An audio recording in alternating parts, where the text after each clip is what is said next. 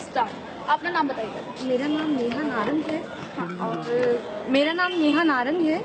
Movie बहुत ही अच्छी थी। इवन मूवी मूवी के अंदर जो उन्होंने भिखारी का रोल किरदार किया है वो बहुत अच्छा किया है। कि जितने भी रिच पर्सन थे ये रियलिटी है। कि जितने भी रिच पर्सन थे वो ये ढूंढ रहे थे कि हमारे नोट कौन एक्सचेंज करवा के देगा। और ये रियलिटी दिखाई गई है मूवी के अंदर।